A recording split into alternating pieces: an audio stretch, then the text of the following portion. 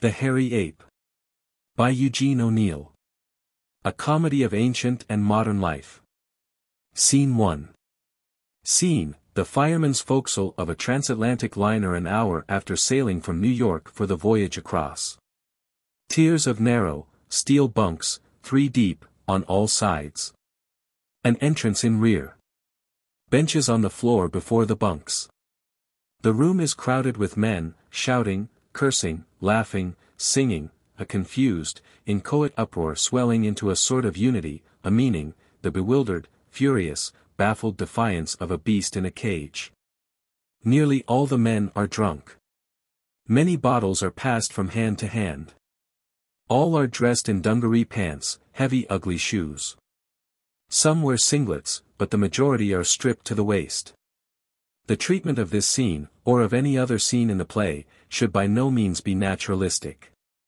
The effect sought after is a cramped space in the bowels of a ship, imprisoned by white steel.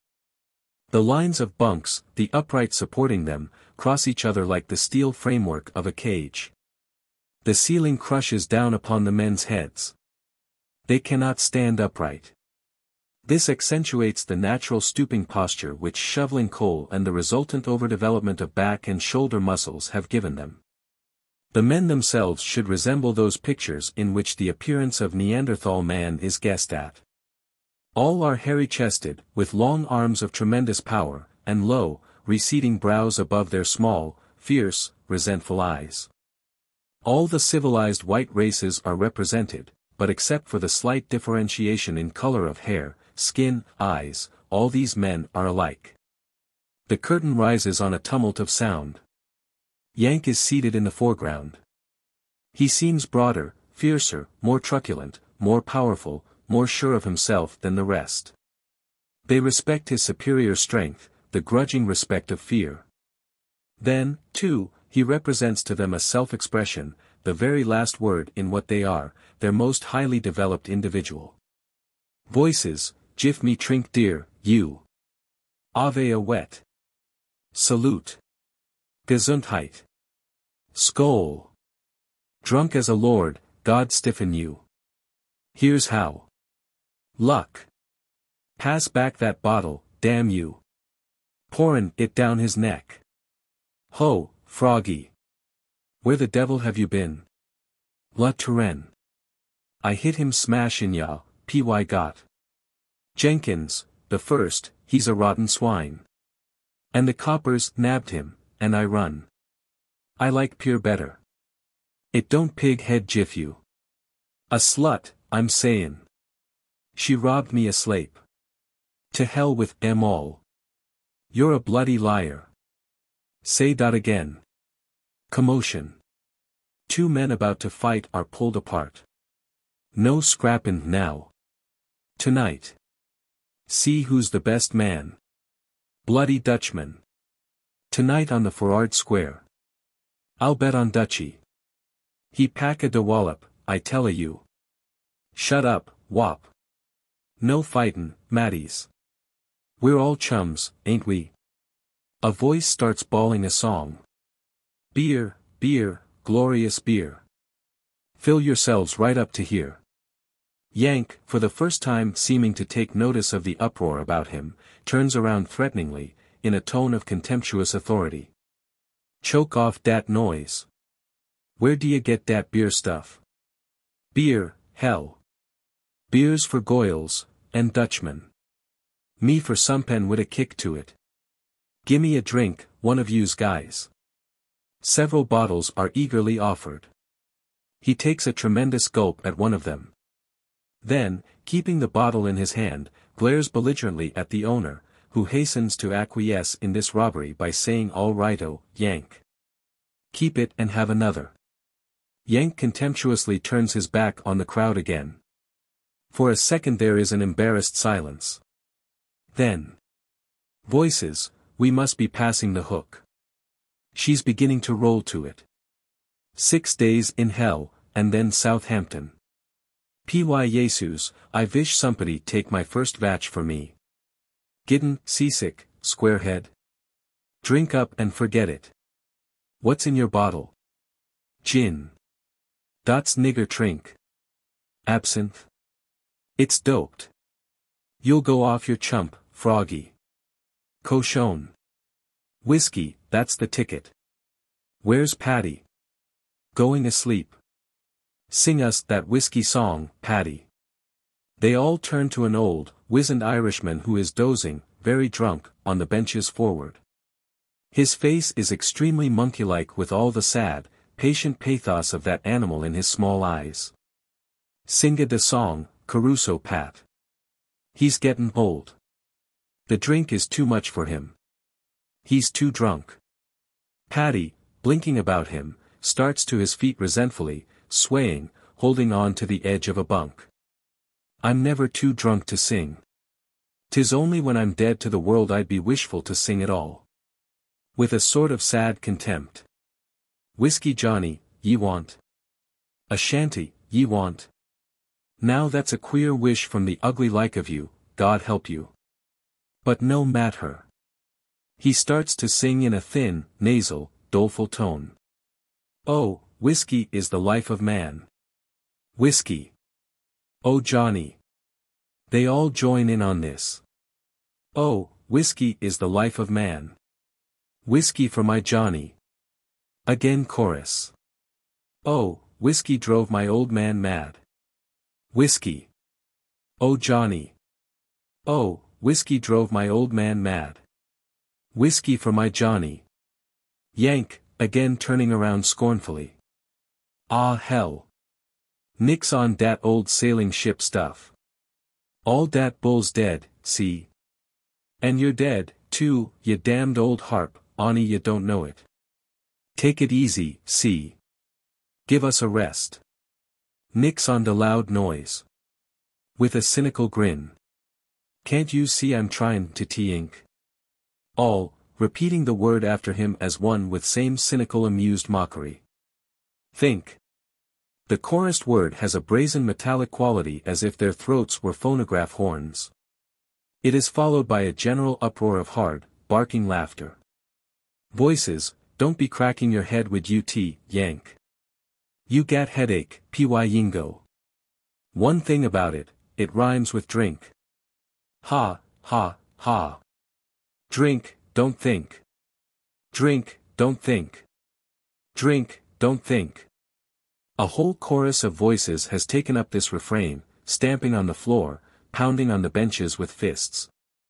Yank, taking a gulp from his bottle, good-naturedly. Ah right. Kenda noise. I got you the foist time. The uproar subsides. A very drunken sentimental tenor begins to sing. Far away in Canada. Far across the sea. There's a lass who fondly waits. Making a home for me. Yank, fiercely contemptuous. Shut up, you lousy boob. Where do you get that tripe? Home. Home, hell. I'll make a home for ya. I'll knock you dead. Home. Fell wit home. Where do you get that tripe? This is home, see.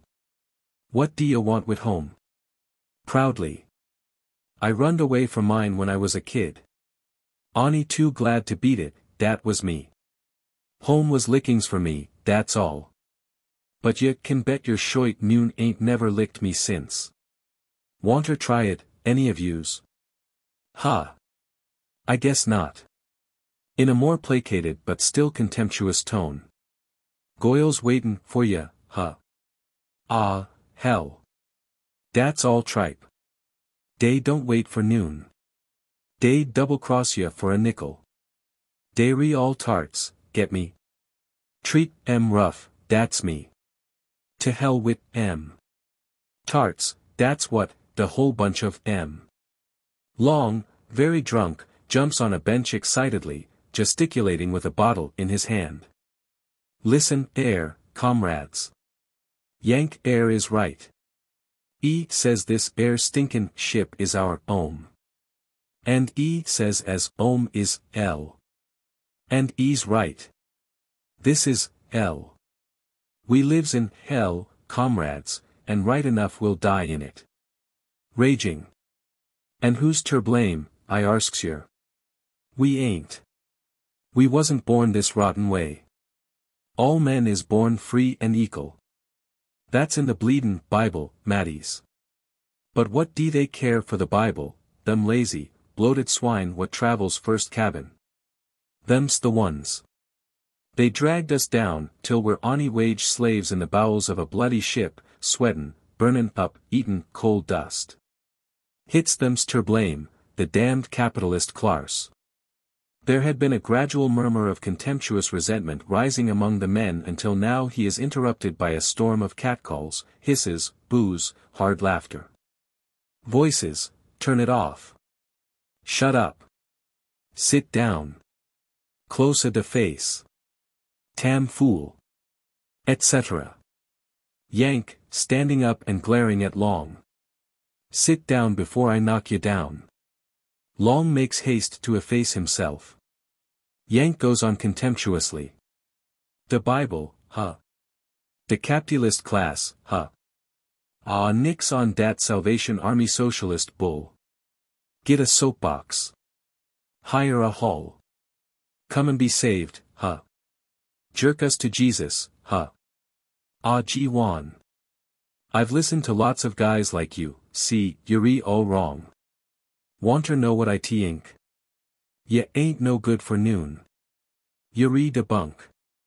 Ye ain't got no noive, get me? Yuri yellow, that's what. Yellow, that's you. Say. What's dem slobs in the foist cabin got to do with us? We're better men than they are, ain't we? Sure. One of us guys could clean up the whole mob with one MIT.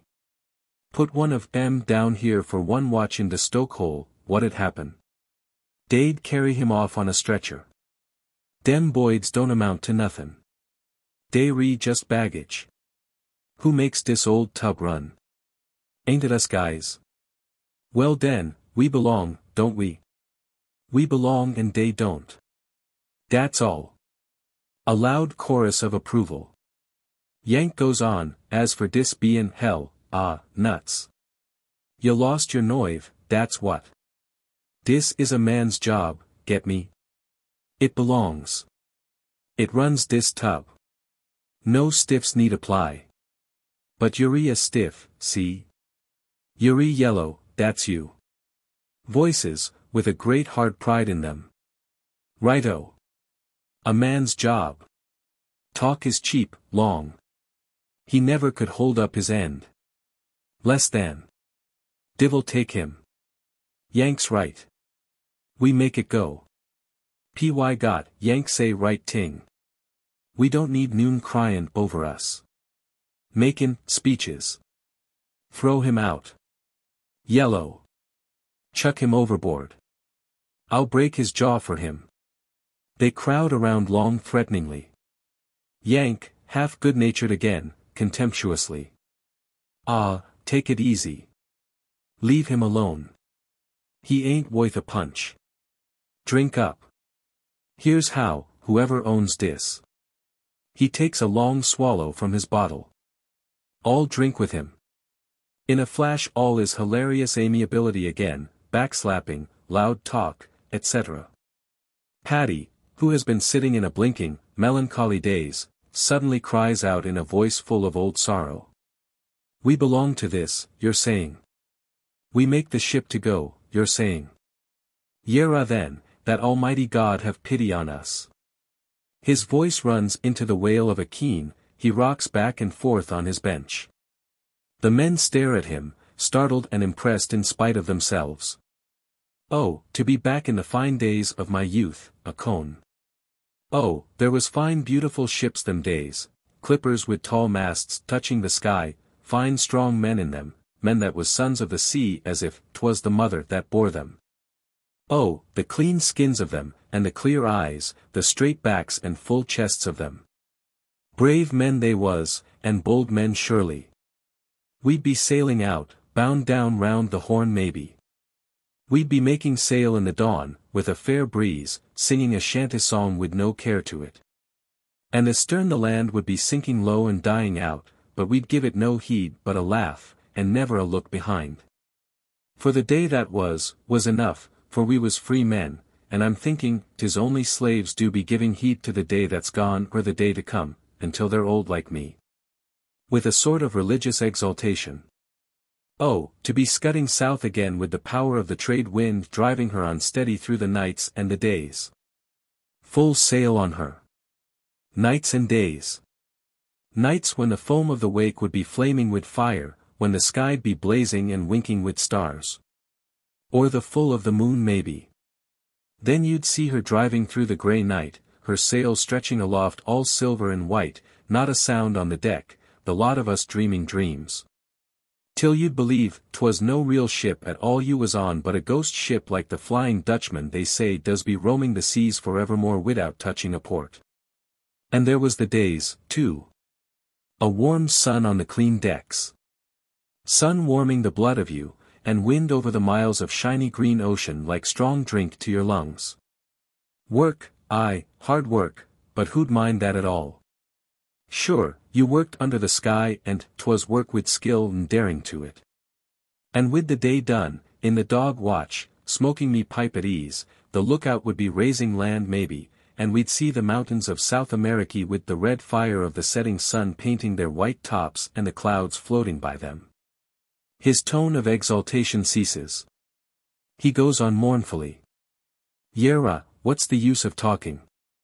Tis a dead man's whisper. To yank resentfully. Twas them days men belonged to ships, not now.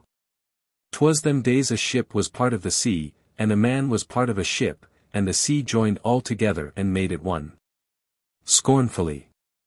Is it one with this you'd be, yank, black smoke from the funnels smudging the sea. Smudging the decks, the bloody engines pounding and throbbing and shaking, with divil a sight of sun or a breath of clean air, choking our lungs with coal dust, breaking our backs and hearts in the hell of the stokehole, feeding the bloody furnace, feeding our lives along with the coal. I'm thinking, caged in by steel from a sight of the sky like bloody apes in the zoo. With a harsh laugh. Ho ho, divil mend you. Is it to belong to that you're wishing? Is it a flesh and blood wheel of the engines you'd be? Yank, who has been listening with a contemptuous sneer, barks out the answer. Sure ting. Dat's me. What about it? Paddy, as if to himself, with great sorrow. Me time is past due. That a great wave with sun in the heart of it may sweep me over the side sometime I'd be dreaming of the days that's gone. Yank, uh, ya crazy Mick. He springs to his feet and advances on Paddy threateningly, then stops, fighting some queer struggle within himself, lets his hands fall to his sides, contemptuously. Ah, take it easy. Yuri are right, at dat. Yuri bugs, dat's all, nutty as a cuckoo. All dat tripe you been pullin', ah, dat's all right. Ani it's dead, get me, you don't belong no more, see. You don't get the stuff. You're too old. Disgustedly. But ah say, come up for air onked in a while, can't ya? See what's happened since you croaked. He suddenly bursts forth vehemently, growing more and more excited. Say. Sure. Sure I meant it. What the hell, say, lemme talk. Hey, Hey, you old harp. Hey, yous guys. Say, listen to me, wait a moment, I gotta talk, see. I belong and he don't. He's dead but I'm livin'. Listen to me. Sure I'm part of the engines. Why the hell not? They move, don't they? They re-speed, ain't they? They smash true, don't they? 25 knots a hour. That's goin', some. That's new stuff. Dat belongs. But him, he's too old. He gets dizzy. Say, listen. All dat crazy tripe about nights and days, all dat crazy tripe about stars and moons. All dat crazy tripe about suns and winds, fresh air and the rest of it, ah hell, that's all a dope dream. Hittin', the pipe of the past, that's what he's doin'. He's old and don't belong no more. But me, I'm young. I'm into pink. I move with it. It, get me. I mean the ting that's the guts of all this. It plows through all the tripe he's been sayin'. It blows dat up. It knocks dat dead. It slams dat off in the face of the oath. It, get me. The engines and the coal and the smoke and all the rest of it. He can't breathe and swallow coal dust, but I can, see. Dat's fresh air for me. Dat's food for me. I'm new, get me. Hell in the stokehole. Sure. It takes a man to work in hell. Hell, sure, that's my favorite climate. I eat it up. I get fat on it. It's me makes it hot. It's me makes it roar.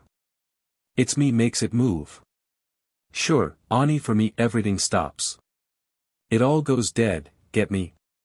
The noise and smoke and all the engines movin' the world, they stop. Dear ain't nothin' no more. That's what I'm sayin'. Everything else that makes the world move, somepen makes it move. It can't move without somepen else, see? Then you get down to me. I'm at the bottom, get me. Dear ain't nothin' foither. I'm the end. I'm the start. I start somepen and the world moves. It, that's me, the new that's moiterin the old. I'm the ting in cold that makes it boin, I'm steam and oil for the engines, I'm the ting in noise that makes you hear it, I'm smoke and express trains and steamers and factory whistles. I'm the ting in gold that makes it money. And I'm what makes iron into steel. Steel, that stands for the whole ting. And I'm steel, steel, steel. I'm the muscles in steel, the punch behind it. As he says this he pounds with his fist against the steel bunks. All the men, roused to a pitch of frenzied self-glorification by his speech, do likewise. There is a deafening metallic roar, through which Yank's voice can be heard bellowing. Slaves, hell. We run de whole woiks. All de rich guys dat tink they re sompen, they ain't nothin'. They don't belong. But us guys, we're in de move, we're at de bottom, the whole ting is us. Paddy from the start of Yank's speech has been taking one gulp after another from his bottle, at first frightenedly, as if he were afraid to listen, then desperately, as if to drown his senses, but finally has achieved complete indifferent. Even amused, drunkenness. Yank sees his lips moving. He quells the uproar with a shout. Hey, yous guys, take it easy. Wait a moment. The nutty harp is sayin' somethin'. Paddy, is heard now, throws his head back with a mocking burst of laughter. Ho ho ho ho ho. Yank, drawing back his fist, with a snarl. Ah. Look out who ye given the bark. Paddy, begins to sing the Miller of Dee with enormous good nature. I care for nobody, no, not I. And nobody cares for me. Yank, good-natured himself in a flash, interrupts Paddy with a slap on the bare back like a report. Dat's the stuff. Now you're gettin' wise to somepen. Care for nobody, that's the dope. To hell with em all. And nix on nobody else carin'. I can care for myself, get me. Eight bells sound, muffled, vibrating through the steel walls as if some enormous brazen gong were embedded in the heart of the ship. All the men jump up mechanically, file through the door silently close upon each other's heels in what is very like a prisoner's lockstep. Yank slaps Paddy on the back. Our watch, ye old harp. Mockingly. Come on down in hell. Eat up the coal dust. Drink in the heat. It's it, see. Act like you liked it, you better, or croak yourself. Paddy, with jovial defiance. To the divil with it. I'll not report this watch. Let them log me and be damned. I'm no slave the like of you. I'll be sittin' here at me ease, and drinking, and thinking, and dreaming dreams. Yank, contemptuously. Tinkin and dreamin', waddle that get ya. What's tinkin got to do with it? We move, don't we? Speed, ain't it? Fog, that's all you stand for. But we drive true dat, don't we? We split dat up and smash true, 25 knots a hour. Turns his back on Paddy scornfully. Ah, you make me sick. You don't belong. He strides out the door in rear. Paddy hums to himself, blinking drowsily. Curtain. Scene 2. Scene, two days out. A section of the promenade deck. Mildred Douglas and her aunt are discovered reclining in deck chairs. The former is a girl of twenty, slender, delicate, with a pale, pretty face marred by a self-conscious expression of disdainful superiority. She looks fretful, nervous and discontented, bored by her own anemia. Her aunt is a pompous and proud, and fat, old lady. She is a type even to the point of a double chin and lorgnettes. She is dressed pretentiously, as if afraid her face alone would never indicate her position in life. Mildred is dressed all in white. The impression to be conveyed by this scene is one of the beautiful, vivid life of the sea all about, sunshine on the deck in a great flood, the fresh sea wind blowing across it. In the midst of this, these two incongruous, artificial figures, inert and disharmonious, the elder like a grey lump of dough touched up with rouge, the younger looking as if the vitality of her stock had been sapped before she was conceived. So that she is the expression not of its life energy but merely of the artificialities that energy had won for itself in the spending. Mildred, looking up with affected dreaminess. How the black smoke swirls back against the sky. Is it not beautiful? Aunt, without looking up. I dislike smoke of any kind. Mildred, my great-grandmother smoked a pipe, a clay pipe.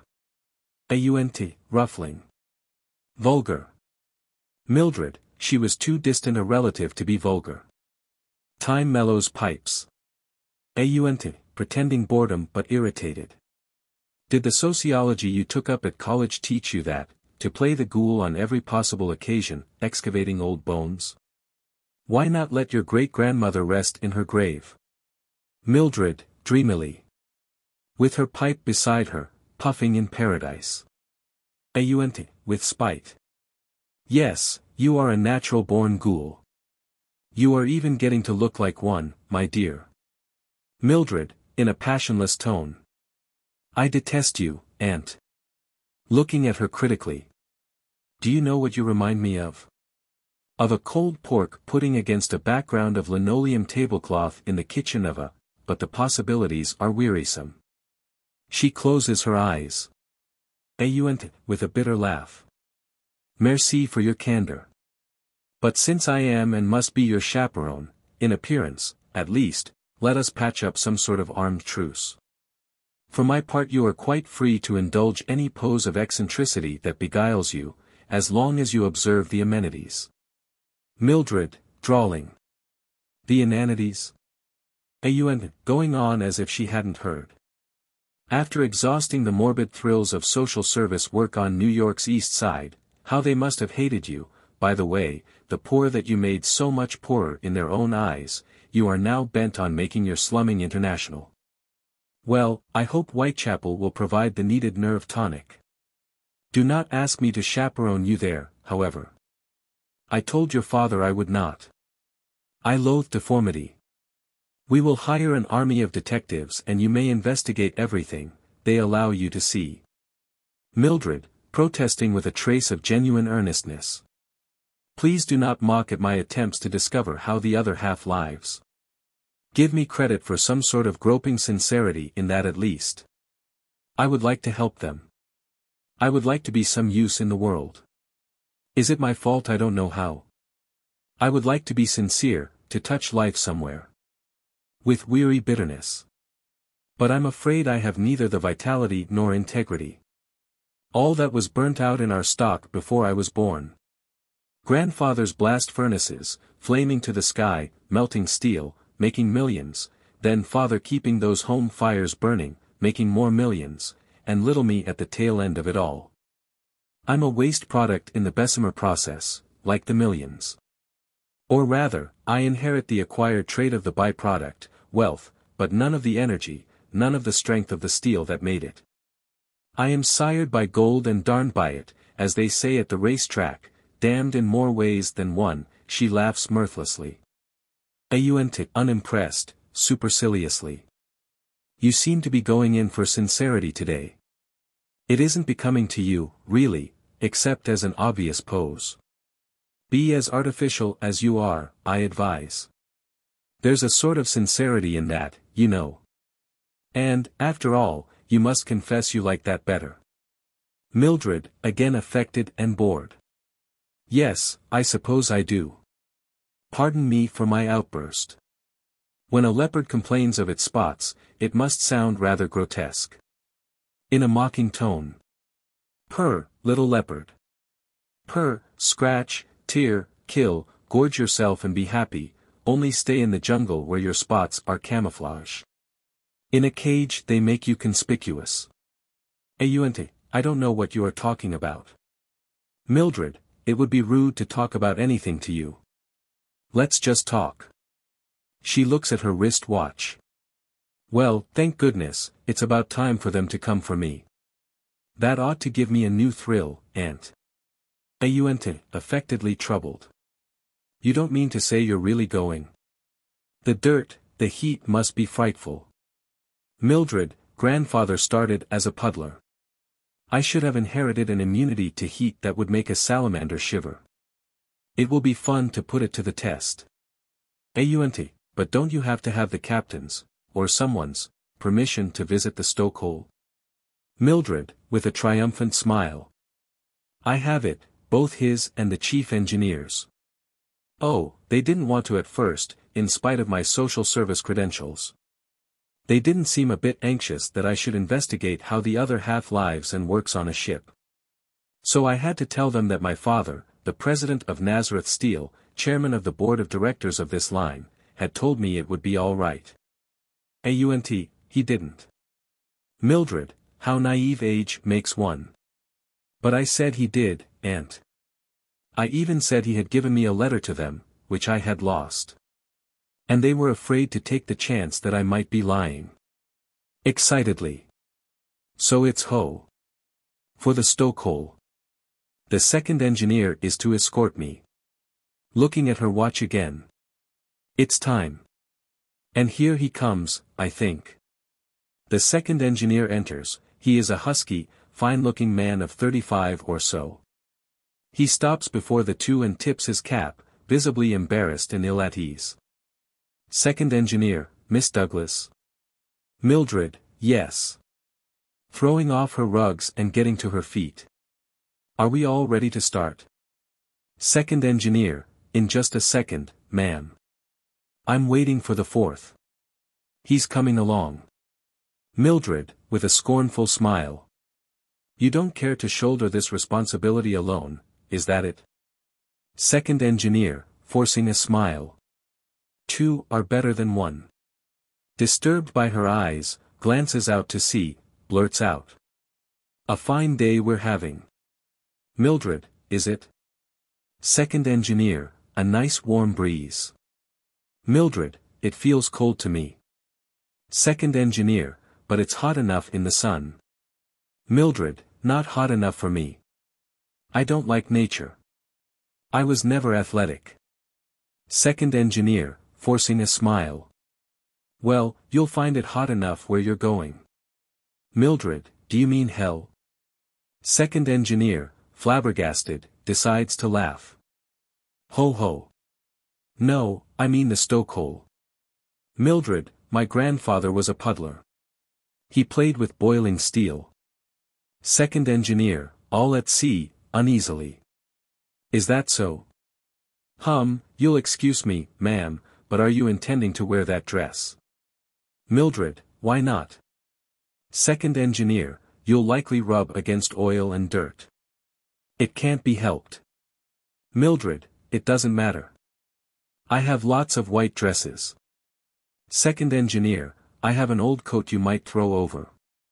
Mildred, I have fifty dresses like this. I will throw this one into the sea when I come back. That ought to wash it clean, don't you think? Second engineer, doggedly. There's ladders to climb down that are none too clean, and dark alleyways. Mildred, I will wear this very dress and none other. Second engineer, no offense meant. It's none of my business. I was only warning you. Mildred, warning. That sounds thrilling. Second engineer, looking down the deck, with a sigh of relief. There's the fourth now. He's waiting for us. If you'll come. Mildred, go on. I'll follow you. He goes. Mildred turns a mocking smile on her aunt. An oaf, but a handsome, virile oaf. Aunt, scornfully. Poser. Mildred, take care. He said there were dark alleyways. Aunt, in the same tone. Poser. Mildred, biting her lips angrily. You are right. But would that my millions were not so anemically chaste. Aunt, yes, for a fresh pose I have no doubt you would drag the name of Douglas in the gutter. Mildred, from which it sprang. Goodbye, aunt. Don't pray too hard that I may fall into the fiery furnace. Aunt, poser. Mildred, viciously. Old hag. She slaps her aunt insultingly across the face and walks off, laughing gaily. Aunt screams after her. I said poser. Curtain. Scene 3. Scene, the stokehole. In the rear, the dimly outlined bulks of the furnaces and boilers. High overhead one hanging electric bulb sheds just enough light through the murky air laden with coal dust to pile up masses of shadows everywhere. A line of men, stripped to the waist, is before the furnace doors. They bend over, looking neither to right nor left, handling their shovels as if they were part of their bodies, with a strange, awkward, swinging rhythm. They use the shovels to throw open the furnace doors. Then from these fiery round holes in the black a flood of terrific light and heat pours full upon the men who are outlined in silhouette in the crouching, inhuman attitudes of chained gorillas. The men shovel with a rhythmic motion, swinging as on a pivot from the coal which lies in heaps on the floor behind to hurl it into the flaming mouths before them. There is a tumult of noise, the brazen clang of the furnace doors as they are flung open or slammed shut, the grating, teeth-gritting grind of steel against steel, of crunching coal. This clash of sound stuns one's ears with its rending dissonance. But there is order in it, rhythm, a mechanical regulated recurrence, a tempo. And rising above all, making the air hum with the quiver of liberated energy, the roar of leaping flames in the furnaces, the monotonous throbbing beat of the engines. As the curtain rises, the furnace doors are shut. The men are taking a breathing spell. One or two are arranging the coal behind them, pulling it into more accessible heaps. The others can be dimly made out leaning on their shovels in relaxed attitudes of exhaustion. Paddy, from somewhere in the line, plaintively. Yera, will this devil's own watch never end? Me back is broke. I'm destroyed entirely. Yank, from the center of the line, with exuberant scorn. Ah, you make me sick. Lie down and croak, why don't you? Always be fin, that's you. Say, this is a cinch. This was made for me. It's my meat, get me. A whistle is blown, a thin, shrill note from somewhere overhead in the darkness. Yank curses without resentment. Dear's de damn engineer Kraken de whip. He tinks we're loafin'. Paddy, vindicatively. God stiffen him. Yank, in an exultant tone of command. Come on, use guys. Get into the game. She's gettin' hungry. Pile some grub in her. Throw it into her belly. Come on now, all of yous. Open her up. At this last all the men, who have followed his movements of getting into position, throw open their furnace doors with a deafening clang. The fiery light floods over their shoulders as they bend round for the coal. Rivulets of sooty sweat have traced maps on their backs. The enlarged muscles form bunches of high light and shadow. Yank, chanting a count as he shovels without seeming effort. One, two, three, his voice rising exultantly in the joy of battle. That's the stuff. Let her have it. All together now. Sling it into her. Let her ride. Shoot the piece now. Call the toin on her. Drive her into it. Feel her move. Watch her smoke. Speed, that's her middle name. Give her coal, use guys. Coal, that's her booze. Drink it up, baby. Let's see you sprint. Dig in and gain a lap. Dear she go oh yes, this last in the chanting formula of the gallery gods at the six-day bike race. He slams his furnace door shut. The others do likewise with as much unison as their wearied bodies will permit. The effect is of one fiery eye after another being blotted out with a series of accompanying bangs. Paddy, groaning. Me back is broke. I'm bait out, bait, there is a pause. Then the inexorable whistle sounds again from the dim regions above the electric light. There is a growl of cursing rage from all sides. Yank, shaking his fist upward, contemptuously. Take it easy dear, you. Who d'ya tink's runnin' this game, me or you? When I get ready, we move. Not before. When I get ready, get me. Voices, approvingly. That's the stuff. Yank tell him, py golly. Yank ain't afeared. Goot poi, Yank. Give him hell. Tell him he's a bloody swine. Bloody slave driver. Yank, contemptuously. He ain't got no noive. He's yellow, get me. All the engineers is yellow. They got streaks a mile wide. Ah, to hell with him. Let's move, use guys. We had a rest. Come on, she needs it. Give her pep. It ain't for him. Him and his whistle, they don't belong. But we belong, see. We gotta feed the baby. Come on. He turns and flings his furnace door open. They all follow his lead. At this instant the second and fourth engineers enter from the darkness on the left with Mildred between them. She starts, turns paler, her pose is crumbling, she shivers with fright in spite of the blazing heat, but forces herself to leave the engineers and take a few steps nearer the men. She is right behind Yank. All this happens quickly while the men have their backs turned. Yank, come on, use guys. He is turning to get coal when the whistle sounds again in a peremptory, irritating note. This drives Yank into a sudden fury. While the other men have turned full around and stopped dumbfounded by the spectacle of Mildred standing there in her white dress, Yank does not turn far enough to see her. Besides, his head is thrown back, he blinks upward through the murk trying to find the owner of the whistle, he brandishes his shovel murderously over his head in one hand, pounding on his chest, gorilla-like, with the other. Shouting toin off dat whistle. Come down out a deer, ye yellow, brass-buttoned, Belfast bum, yeah. Come down and I'll knock your brains out. Ye lousy, stinkin', yellow mud of a Catholic moiterin, bastard. Come down and I'll water ye. Pullin' dat whistle on me, huh? I'll show ye. I'll crash your skull in. I'll drive your teeth down your throat. I'll slam your nose true to back of your head. I'll cut your guts out for a nickel, you lousy boob, you dirty, crummy, muck-eaten son of a. Suddenly he becomes conscious of all the other men staring at something directly behind his back. He whirls defensively with a snarling, murderous growl, crouching to spring, his lips drawn back over his teeth, his small eyes gleaming ferociously. He sees Mildred, like a white apparition in the full light from the open furnace doors. He glares into her eyes, turned to stone.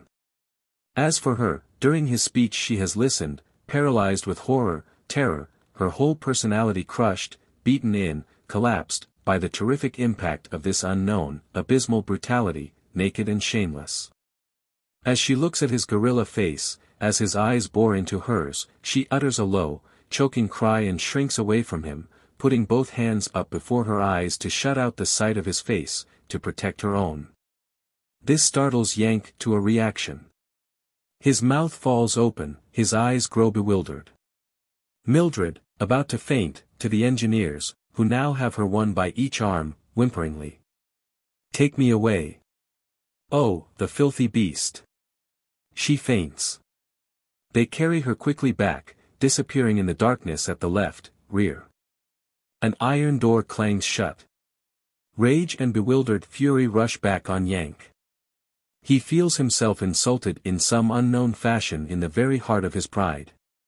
He roars God damn ya! And hurls his shovel after them at the door which has just closed. It hits the steel bulkhead with a clang and falls clattering on the steel floor. From overhead the whistle sounds again in a long, angry, insistent command. Curtain. Scene 4. Scene, the fireman's forecastle. Yank's watch has just come off duty and had dinner.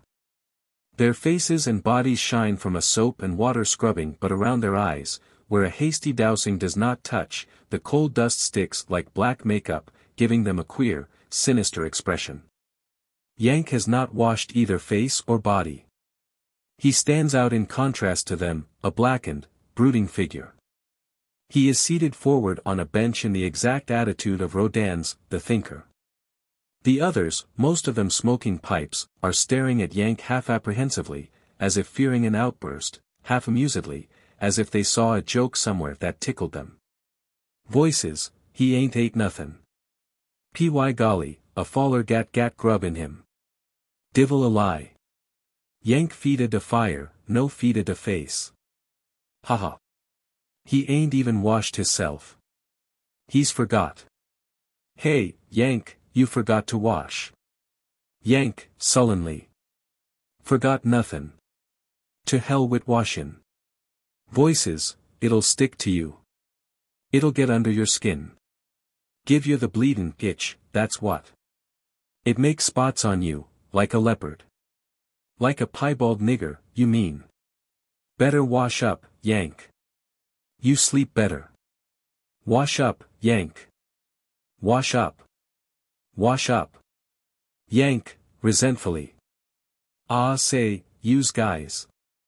Lemme alone. Can't you see I'm trying to think?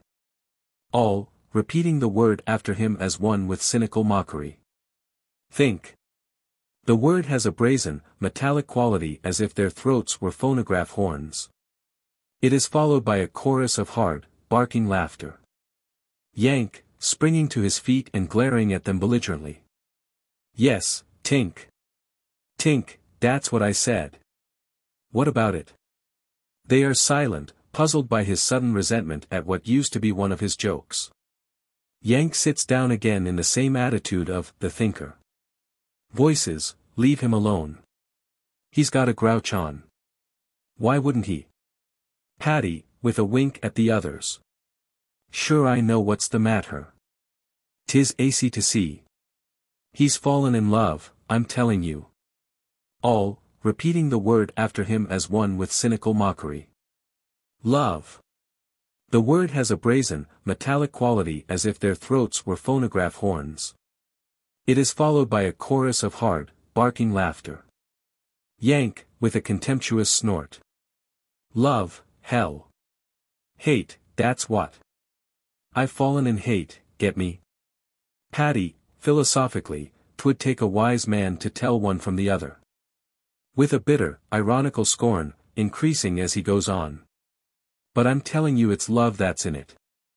Sure what else but love for us poor bastes in the stokehole would be bringing a fine lady, dressed like a white queen, down a mile of ladders and steps to be havin' a look at us. A growl of anger goes up from all sides. Long, jumping on a bench, hectically, insultin' us. Insultin' us, the bloody cow. And them bloody engineers. What right as they got to be exhibitin' us s if we was bleedin' monkeys in a menagerie. Did we sign for insults to our dignity as honest workers? Is that in the ship's articles? You kin bloody well bet it ain't. But I knows why they done it. I asked the deck steward oh she was and E told me. Air old man's a bleedin' millionaire, a bloody capitalist. E's got enough bloody gold to sink this bleedin' ship. E makes arf the bloody steel in the world. E owns this bloody boat. And you and me, comrades, we're is slaves. And the skipper and mates and engineers, they're is slaves. And she's, is bloody daughter and we're all, her slaves, too. And she gives, her orders as, ow she wants to see the bloody animals below decks and down they takes, her. There is a roar of rage from all sides. Yank, blinking at him bewilderedly. Say. Wait a moment. Is all dat straight goods? Long, straight as string. The bleedin' steward as waits on M. he told me about her. And what are we goin' ter do, I arsks yer. Ave we got ter swaller er hinsults like dogs. It ain't in the ship's articles. I tell yer we got a case. We can go ter law. Yank, with abysmal contempt. Hell. Law. All, repeating the word after him as one with cynical mockery. Law. The word has a brazen metallic quality as if their throats were phonograph horns. It is followed by a chorus of hard, barking laughter. Long, feeling the ground slipping from under his feet, desperately. As voters and citizens we can force the bloody governments. Yank, with abysmal contempt. Hell. Governments. All, repeating the word after him as one with cynical mockery. Governments. The word has a brazen metallic quality as if their throats were phonograph horns. It is followed by a chorus of hard, barking laughter. Long, hysterically. We're free and equal in the sight of God. Yank, with abysmal contempt. Hell. God. All, repeating the word after him as one with cynical mockery. God. The word has a brazen metallic quality as if their throats were phonograph horns. It is followed by a chorus of hard, barking laughter. Yank, witheringly. Ah, join the Salvation Army. All, sit down. Shut up. Damn fool. See lawyer. Long slinks back out of sight. Paddy, continuing the trend of his thoughts as if he had never been interrupted, bitterly. And there she was standing behind us, and the second pointing at us like a man you'd hear in a circus would be saying, in this cage is a queerer kind of baboon than ever you'd find in darkest Africa. We roast them in their own sweat, and be damned if you won't hear some of them saying they like it.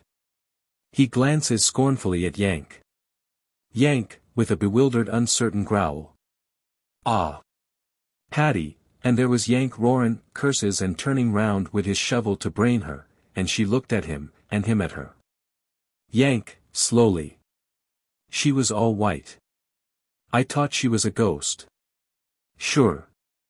Paddy, with heavy, biting sarcasm.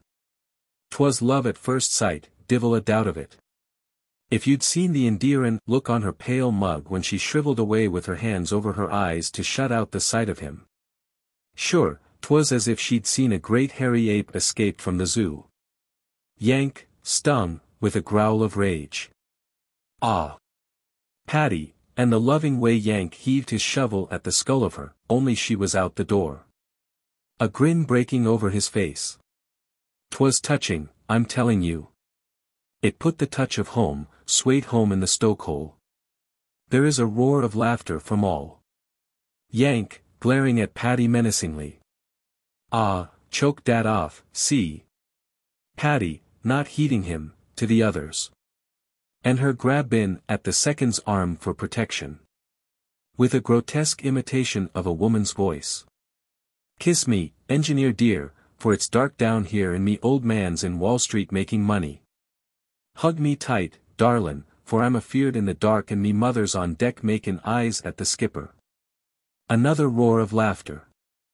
Yank, threateningly. Say, what you tryin' to do, kid me, you old harp? Paddy, divil a bit. Ain't I wishin' myself you'd brained her? Yank, fiercely. I'll brain her.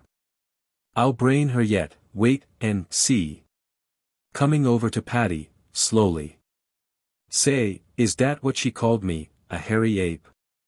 Paddy, she looked it at you if she didn't say the word itself. Yank, grinning horribly. Hairy ape, huh? Sure. That's the way she looked at me, alright. Hairy ape. So that's me, huh? Bursting into rage, as if she were still in front of him. Ye skinny tart. Ye white-faced bum, yeah. I'll show ya who's a ape. Turning to the others, bewilderment seizing him again. Say, use guys. I was bawlin' him out for pullin' the whistle on us. You heard me. And then I seen yous lookin' at Sumpen and I thought he'd sneak down to come up in back of me, and I hopped round to knock him dead with the shovel. And dear she was with the light on her. Christ, you coulda pushed me over with a finger. I was scared, get me? Sure. I thought she was a ghost, see? She was all in white like day wrap around stiffs. You seen her. Can you blame me? She didn't belong, that's what. And then when I come to and seen it was a real scoit and seen the way she was lookin' at me, like Paddy said, Christ, I was sore, get me? I don't stand for dat stuff from nobody. And I flung the shovel, Ani she beat it. Furiously. I wished it had banged her. I wished it had knocked her block off. Long, and be anged for murder or electrocuted. She ain't bleedin' well worth it. Yank, I don't give a damn what. I'd be square with her, wouldn't I? Tink I want her let her put some pen over on me. Tink I'm goin' to let her get away with dat stuff. You don't know me. Noon ain't never put nothin' over on me and got away with it, see, not that kind of stuff, no guy and no scoit neither. I'll fix her. Maybe she'll come down again. Voice, no chance, Yank. You scared her out of a year's growth. Yank, I scared her. Why the hell should I scare her? Who the hell is she? Ain't she the same as me? Hairy ape, huh? With his old confident bravado. I'll show her I'm better better'n her, if she only knew it. I belong and she don't, see. I move and she's dead. 25 knots a hour, that's me. Dat carries her but I make dat. She's onny baggage. Sure. Again bewilderedly. But, Christ, she was funny lookin'. Did you pipe her hands? White and skinny.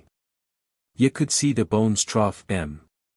And her mush, dat was dead white, too. And her eyes, dey was like dey'd seen a ghost. Me, dat was. Sure. Hairy ape. Ghost, huh? Look at dat arm. He extends his right arm, swelling out the great muscles. I coulda took her with dat, with just my little finger even, and broke her in two. Again bewilderedly. Say, who is dat scoit, huh? What is she? What she come from? Who made her? Who give her de noive to look at me like dat? Dis ting's got my goat right. I don't get her. She's new to me. What does a scoit like her mean, huh? She don't belong, get me. I can't see her. With growing anger. But one thing I'm wise to, alright, alright. Use all kin bet your show it's I'll get even with her. I'll show her if she thinks she, she grinds de organ and I'm on de string, huh? I'll fix her. Let her come down again and I'll fling her into furnace. She'll move den. She won't shiver at nothin', den. Speed, that'll be her. She'll belong den. He grins horribly. Paddy, she'll never come. She's had her belly full, I'm telling you. She'll be in bed now, I'm thinking, with ten doctors and nurses feed in her salts to clean the fear out of her. Yank, enraged. Ya think I made her sick, too, do ya? Just lookin' at me, huh? Hairy ape, huh? In a frenzy of rage. I'll fix her. I'll tell her where to get off. She'll get down on her knees and take it back or I'll bust a face offen her. Shaking one fist upward and beating on his chest with the other. I'll find ya. I'm comin', d'ya hear? I'll fix ya, god damn ya. He makes a rush for the door. Voices, stop him. He'll get shot. He'll murder her. Trip him up. Hold him. He's gone crazy. God, he's strong. Hold him down. Look out for a kick. Pin his arms. They have all piled on him and, after a fierce struggle, by sheer weight of numbers have borne him to the floor just inside the door. Paddy, who has remained detached. Cape him down till he's cooled off. Scornfully. Yera, Yank, you're a great fool. Is it payin' attention at all you are to the like of that skinny sow without one drop of raw blood in her?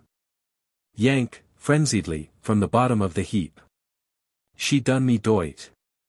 She done me doit, didn't she? I'll get square with her. I'll get her some way. Get offen me, use guys. Lemme up. I'll show her who's a ape. Curtain. Scene V. Scene, Three weeks later.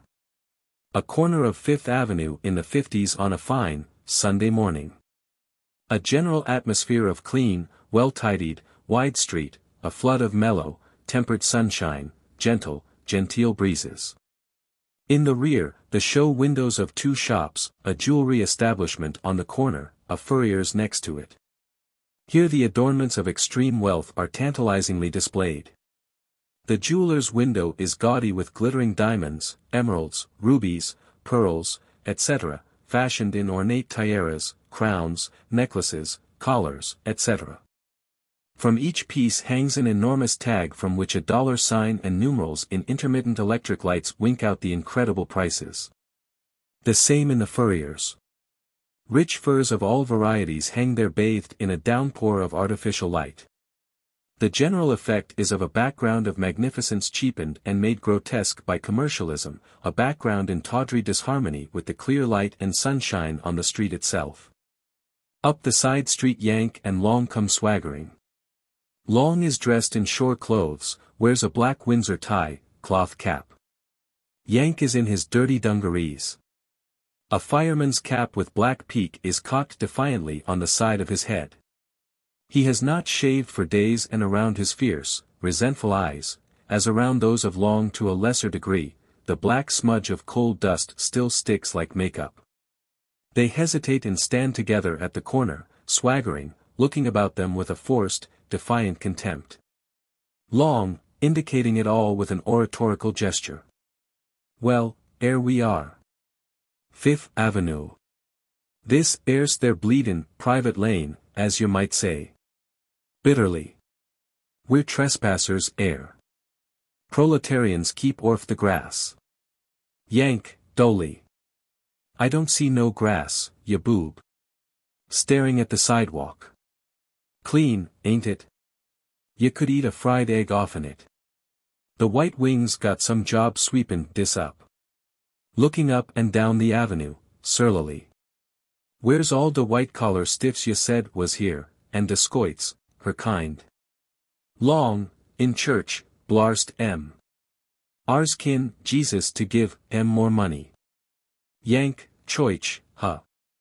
I used to go to choich onct, sure, when I was a kid.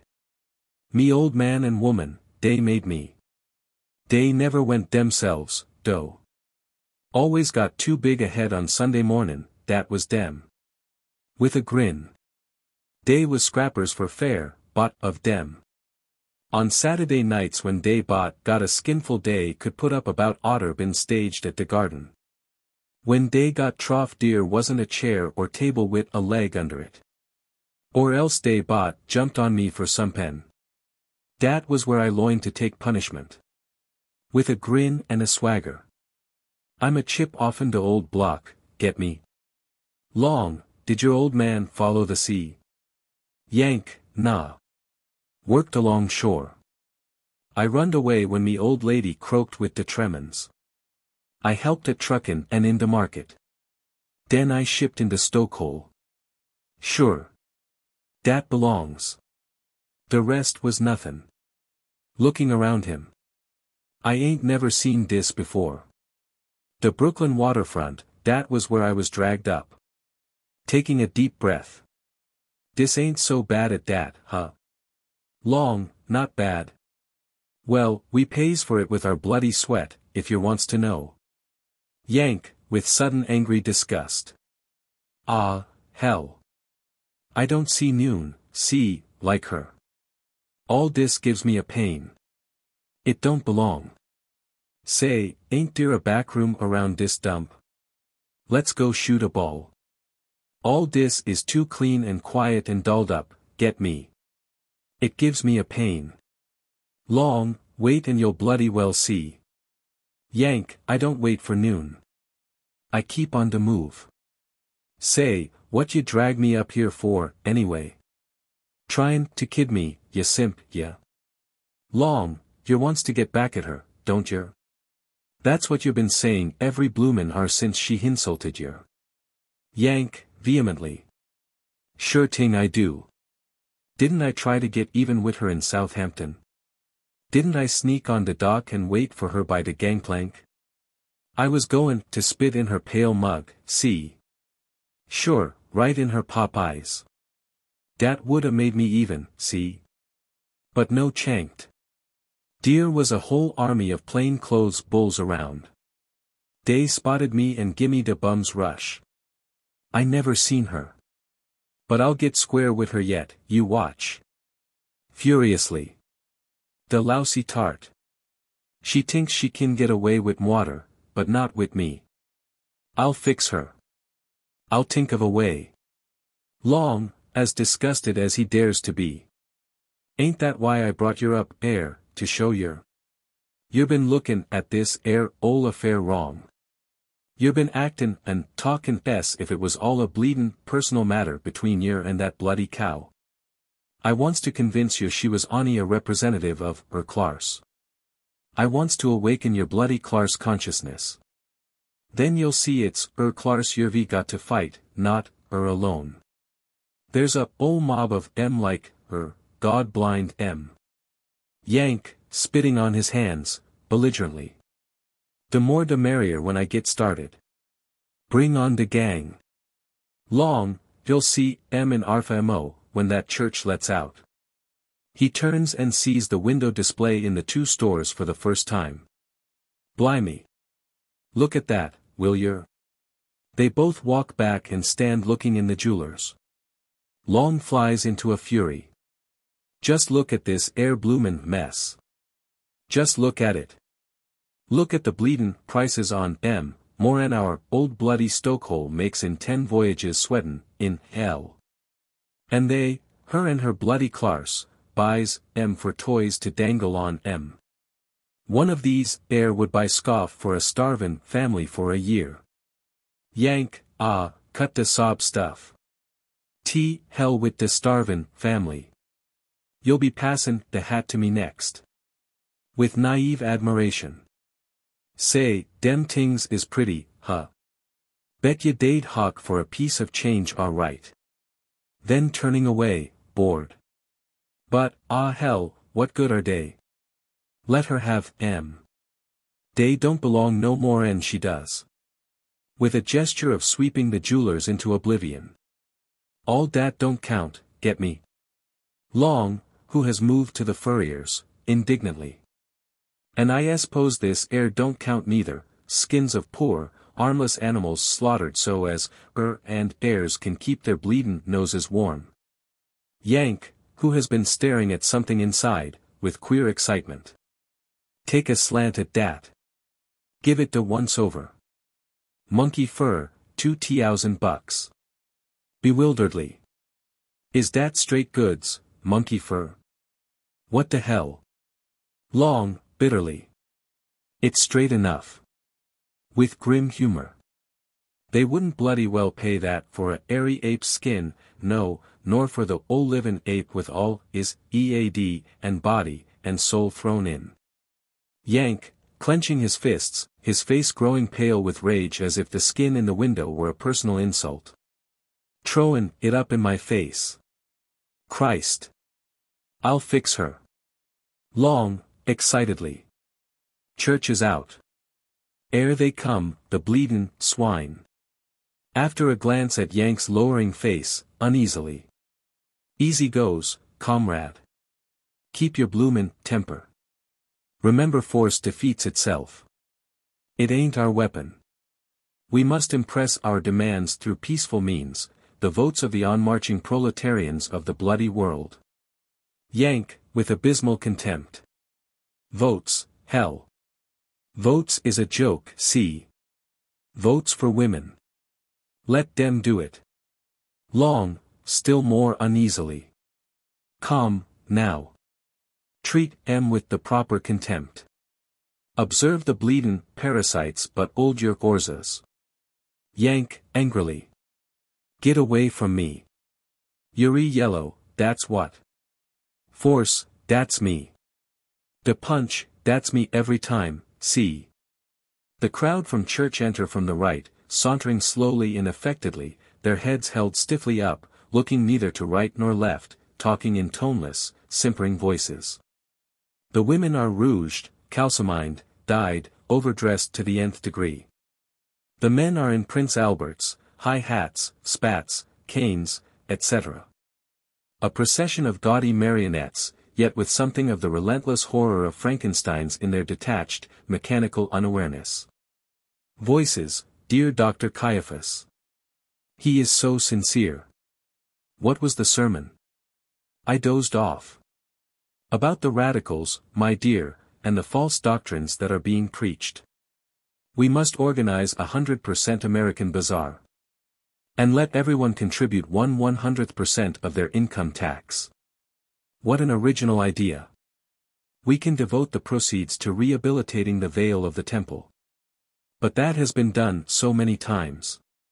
Yank, glaring from one to the other of them, with an insulting snort of scorn. Ha! Ha! Without seeming to see him, they make wide detours to avoid the spot where he stands in the middle of the sidewalk. Long, frightenedly. Keep your bloomin' mouth shut, I tells yer. Yank, viciously. Guan. Tell it to Sweeney. He swaggers away and deliberately lurches into a top-hatted gentleman, then glares at him pugnaciously. Say, who d'ye tink you're bumpin'? Tink you own de oith. Gentleman, coldly and affectedly. I beg your pardon. He has not looked at Yank and passes on without a glance, leaving him bewildered. Long, rushing up and grabbing Yank's arm. Air. Come away. This wasn't what I meant. You'll ave the bloody coppers down on us. Yank, savagely, giving him a push that sends him sprawling. Guan. Long, picks himself up, hysterically. I'll pop Worf then. This ain't what I meant. And whatever appends, you can't blame me. He slinks off left. Yank, T, hell with yous. He approaches a lady, with a vicious grin and a smirking wink. Hello, kiddo. How's every little ting? Got anything on for tonight? I know an old boiler down to the docks we can crawl into. The lady stalks by without a look, without a change of pace. Yank turns to others, insultingly. Holy smokes, what a mug. Go hide yourself before the horses shy at ya. G, pipe the hiney on dat one. Say, use, you look like the stoin of a ferryboat. Paint and powder. All dolled up to kill. You look like stiffs laid out for de boneyard. Ah, G1, the lot of yous. You give me de eye ache. You don't belong, get me. Look at me, why don't yous dare? I belong, that's me pointing to a skyscraper across the street which is in process of construction, with bravado. See dat building goin' up dear. See the steel work. Steel, that's me. Yous guys live on it and tink you're some pen. But I'm I in it, see. I'm the hoistin' engine dat makes it go up. I'm it, the inside and bottom of it. Sure. I'm steel and steam and smoke and the rest of it. It moves, speed, 25 stories up, and me at the top and bottom, movin'. You simps don't move. Yuri oni dolls I winds up to see em spin. Yuri the garbage, get me, the leavin's, the ashes we dump over the side. Now, what do you gotta say? But as they seem neither to see nor hear him, he flies into a fury. Bums. Pigs. Tarts. Bitches.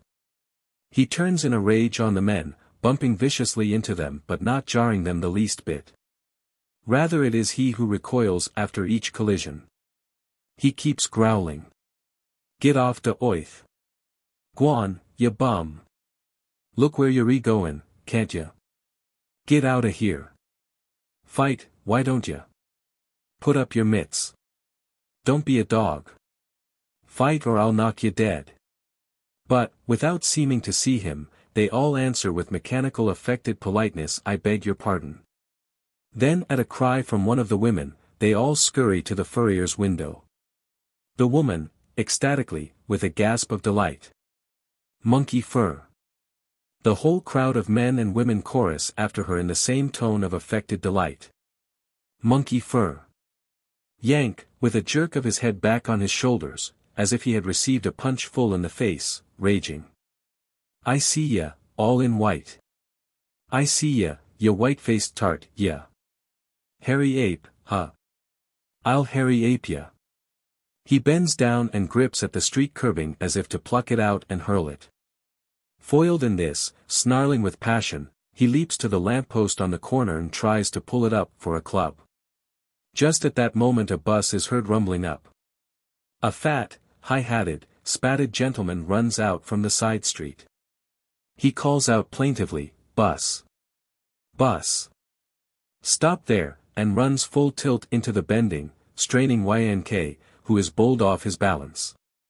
Yank, seeing a fight, with a roar of joy as he springs to his feet. At last. Bus, huh? I'll bust ya. He lets drive a terrific swing, his fist landing full on the fat gentleman's face. But the gentleman stands unmoved as if nothing had happened. Gentlemen, I beg your pardon. Then irritably, you have made me lose my bus. He claps his hands and begins to scream officer. Officer. Many police whistles shrill out on the instant and a whole platoon of policemen rush in on Yank from all sides. He tries to fight but is clubbed to the pavement and fallen upon. The crowd at the window have not moved or noticed this disturbance. The clanging gong of the patrol wagon approaches with a clamoring din. Curtain. Scene 6. Scene, night of the following day. A row of cells in the prison on Blackwell's Island. The cells extend back diagonally from right front to left rear. They do not stop, but disappear in the dark background as if they ran on, numberless, into infinity. One electric bulb from the low ceiling of the narrow corridor sheds its light through the heavy steel bars of the cell at the extreme front and reveals part of the interior.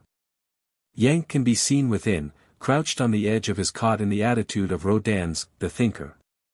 His face is spotted with black and blue bruises. A blood-stained bandage is wrapped around his head. Yank, suddenly starting as if awakening from a dream, reaches out and shakes the bars, aloud to himself, wonderingly. Steel. This is the zoo, huh? A burst of hard, barking laughter comes from the unseen occupants of the cells, runs back down the tier, and abruptly ceases. Voices, mockingly. The zoo. That's a new name for this coop, a damn good name. Steel, eh. You said a mouthful. This is the old iron house. Who is that boob talkin'? He's the bloke they brung in out of his head. The bulls had beat him up fierce. Yank, dully. I must have been dreamin'. I thought I was in a cage at the zoo, but the apes don't talk, do they? Voices, with mocking laughter. You're in a cage alright. A coop. A pen. A sty. A kennel. Hard laughter, a pause. Say, guy. Who are you? No, never mind lying. What are you? Yes, tell us your sad story. What's your game? What did they jug you for? Yank, dully. I was a fireman, stoken on the liners. Then with sudden rage, rattling his cell bars. I'm a hairy ape, get me? And I'll bust yous all in the jaw if you don't lay off kiddin' me. Voices, ha. You're a hard-boiled duck ain't you? When you spit, it bounces. Laughter. Ah, can it? He's a regular guy. Ain't you? What did he say he was, a ape? Yank, defiantly. Sure ting. Ain't that what yous all are, apes? A silence. Then a furious rattling of bars from down the corridor. A voice, thick with rage. I'll show ya who's a ape, ya bum. Voices, SSH. Nix. Kenda noise. Piano. You'll have the guard down on us. Yank, scornfully. The guard? You mean the keeper, don't ya? Angry exclamations from all the cells. Voice, placatingly. Ah, don't pay no attention to him. He's off his nut from the beaten up he got. Say, you guy. We're waitin' to hear what they landed you for, or ain't you tellin'? Yank, sure, I'll tell yous. Sure. Why the hell not? Ani, yous won't get me. Nobody gets me but me, see? I started to tell the judge and all he says was, toity days to tink it over. Tink it over. Christ, that's all I been doin' for weeks. After a pause. I was tryin' to get even with someone, see, someone dat done me doit. Voices, cynically. De old stuff, I bet. You're Goyle, huh? Give you the double cross, huh? That's them every time. Did you beat up de otter guy? Yank, disgustedly, ah, you're all wrong. Sure dear was a scoid in it, but not what yous mean, not dat old tripe. This was a new kind of scoit. She was dolled up all in white, in the stokehole. I thought she was a ghost. Sure. A pause. Voices, whispering. Gee, he's still nutty. Let him rave. It's fun listenin'. Yank, unheeding, groping in his thoughts. Her hands, Day was skinny and white like Day wasn't real but painted on some pen. Dear was a million miles from me to her, 25 knots a hour. She was like some dead ting the cat brung in. Sure, that's what. She didn't belong. She belonged in the window of a toy store, or on the top of a garbage can, see. Sure. He breaks out angrily. But would you believe it, she had the noive to do me doit. She lampied me like she was seein', pen broke loose from the menagerie. Christ, yet Otter seen her eyes. He rattles the bars of his cell furiously. But I'll get back at her yet, you watch. And if I can't find her I'll take it out on the gang she runs wit. I'm wise to where day hangs out now. I'll show her who belongs. I'll show her who's in the move and who ain't. You watch my smoke. Voices, serious and joking. Dat's the talkin'. Take her for all she's got. What was this dame, anyway? Who was she, eh? Yank I dunno. First cabin stiff. Her old man's a millionaire, Day says, name of Douglas. Voices, Douglas. That's the president of the Steel Trust, I bet. Sure. I seen his mug in papers. He's filthy with dough. Voice, hey, feller, take a tip from me. If you want to get back at that dame, you better join the Wobblies. You'll get some action then. Yank, Wobblies. What the hell's that? Voice, ain't you ever heard of the I, W, W? Yank, nah. What is it? Voice, a gang of blokes, a tough gang. I been readin' about M today in the paper. The guard give me the Sunday Times. There's a long spiel about M. It's from a speech made in the Senate by a guy named Senator Queen. He is in the cell next to Yanks. There is a rustling of paper. Wait till I see if I got light enough and I'll read you. Listen. He reads, There is a menace existing in this country today which threatens the vitals of our fair republic, as foul a menace against the very lifeblood of the American eagle as was the foul conspiracy of Catiline against the eagles of ancient Rome. Voice, disgustedly. Ah hell. Tell him to salt the tail of that eagle.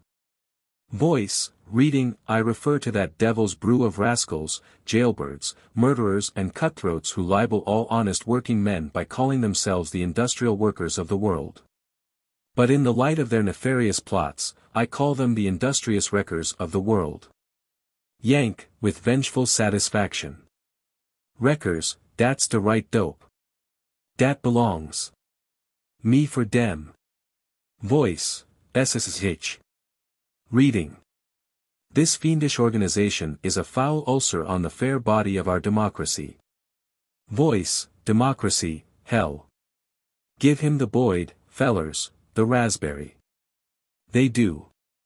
Voice, SSH. Reading, like Cato I say to this Senate, the I, W, W, must be destroyed. For they represent an ever-present dagger pointed at the heart of the greatest nation the world has ever known, where all men are born free and equal, with equal opportunities to all, where the founding fathers have guaranteed to each one happiness.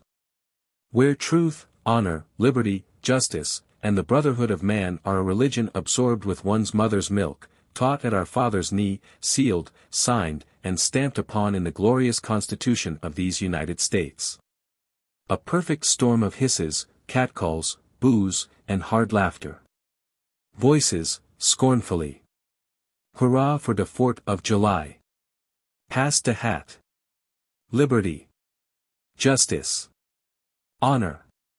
Opportunity. Brotherhood. All, with abysmal scorn.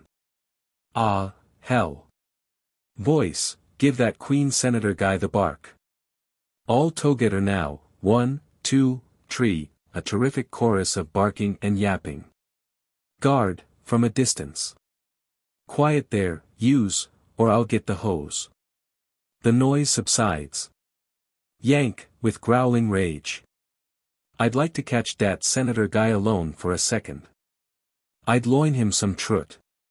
Voice, SSH. Here's where he gets down to cases on the wobblies. Reads, they plot with fire in one hand and dynamite in the other. They stop not before murder to gain their ends, nor at the outraging of defenseless womanhood. They would tear down society, put the lowest scum in the seats of the mighty, turn Almighty God's revealed plan for the world topsy-turvy, and make of our sweet and lovely civilization a shambles, a desolation where man, God's masterpiece, would soon degenerate back to the ape. Voice, to Yank. Hey, you guy. There's your ape stuff again. Yank, with a growl of fury. I got him. So they blow up tings, do they? They turn tings round, do they? Hey, lend me dat paper, will ya? Voice, sure. Give it to him. Ani keep it to yourself, see. We don't want her listen to no more of that slop. Voice, here you are. Hide it under your mattress. Yank, reaching out. Tanks. I can't read much but I can manage. He sits, the paper in the hand at his side, in the attitude of Rodin's The Thinker. A pause. Several snores from down the corridor. Suddenly Yank jumps to his feet with a furious groan as if some appalling thought had crashed on him, bewilderedly.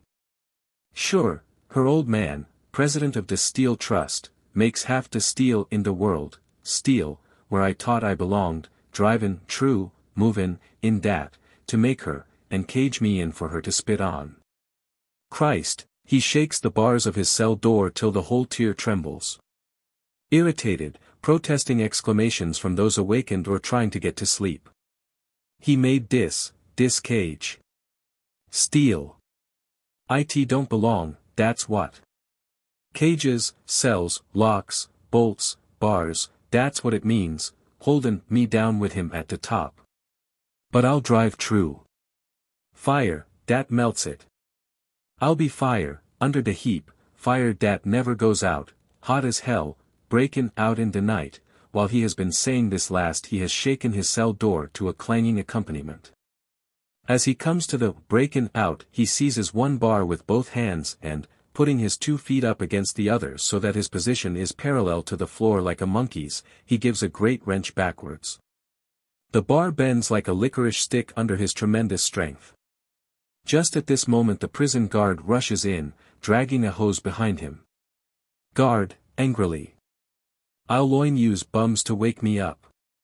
Sees Yank. Hello, it's you, huh? Got the DT. S, hey. Well, I'll cure M. I'll drown your snakes for ya. Noticing the bar. Hell, look at that bar bended. Ani a bug is strong enough for dat. Yank, glaring at him. Or a hairy ape, ya big yellow bum. Look out. Here I come. He grabs another bar. Guard, scared now, yelling off left. Toin the who's on, Ben, full pressure. And call the others, and a straight jacket. The curtain is falling. As it hides Yank from view, there is a splattering smash as the stream of water hits the steel of Yank's cell. Curtain. Scene 7. Scene, nearly a month later. An I.W.W. Local near the waterfront, showing the interior of a front room on the ground floor, and the street outside. Moonlight on the narrow street, buildings massed in black shadow. The interior of the room, which is General Assembly Room, Office, and Reading Room, resembles some dingy settlement boys' club. A desk and high stool are in one corner. A table with papers, stacks of pamphlets, chairs about it, is at center. The whole is decidedly cheap, banal, commonplace and unmysterious as a room could well be. The secretary is perched on the stool making entries in a large ledger. An eye shade casts his face into shadows. Eight or ten men, longshoremen, iron workers, and the like, are grouped about the table. Two are playing checkers. One is writing a letter. Most of them are smoking pipes. A big signboard is on the wall at the rear, Industrial Workers of the World, Local Number 57. Yank, comes down the street outside. He is dressed as in scene 5. He moves cautiously, mysteriously. He comes to a point opposite the door. Tiptoes softly up to it, listens, is impressed by the silence within, knocks carefully, as if he were guessing at the password to some secret rite. Listens. No answer. Knocks again a bit louder. No answer. Knocks impatiently, much louder. Secretary, turning around on his stool. What the devil is that, someone knocking? Shouts come in, why don't you? All the men in the room look up. Yank opens the door slowly, gingerly, as if afraid of an ambush. He looks around for secret doors, mystery, is taken aback by the commonplaceness of the room and the men in it, thinks he may have gotten in the wrong place, then sees the signboard on the wall and is reassured. Yank, blurts out. Hello. Men, reservedly. Hello. Yank, more easily. I thought I bumped into the wrong dump. Secretary, scrutinizing him carefully. Maybe you have. Are you a member? Yank, nah, not yet. That's what I come for, to join. Secretary, that's easy. What's your job, Longshore? Yank, nah. Fireman, stoker on the liners. Secretary, with satisfaction. Welcome to our city. Glad to know you people are waking up at last. We haven't got many members in your line. Yank, nah. Dairy all dead to de Woild. Secretary, well, you can help to wake M. What's your name? I'll make out your card. Yank, confused. Name. Lemmy Tink. Secretary, sharply. Don't you know your own name? Yank, sure, but I been just Yank for so long, Bob, that's it, Bob Smith. Secretary, writing. Robert Smith. Fills out the rest of card. Here you are. Cost you half a dollar. Yank, is that all, for bits? That's easy. Gives the secretary the money. Secretary, throwing it in drawer. Thanks. Well, make yourself at home. No introductions needed. There's literature on the table. Take some of those pamphlets with you to distribute aboard ship. They may bring results. Sow the seed, only go about it right. Don't get caught and fired. We got plenty out of work. What we need is men who can hold their jobs, and work for us at the same time. Yank, sure. But he still stands, embarrassed and uneasy. Secretary, looking at him, curiously. What did you knock for? Think we had a coon in uniform to open doors. Yank, nah. I thought it was locked, and dat yet wanter give me the once over true a peephole or something to see if I was right. Secretary, alert and suspicious but with an easy laugh. Think we were running a crap game? That door is never locked. What put that in your nut? Yank, with a knowing grin, convinced that this is all camouflage, a part of the secrecy. This burg is full of bulls, ain't it? Secretary, sharply. What have the cops got to do with us? We're breaking no laws.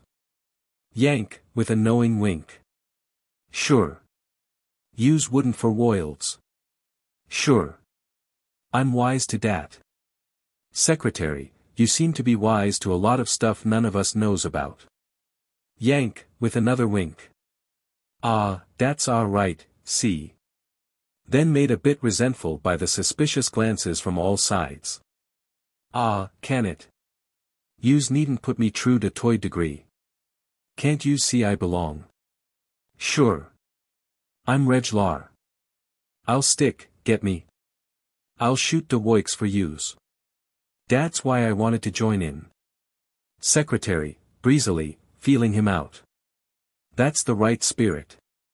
Only are you sure you understand what you've joined?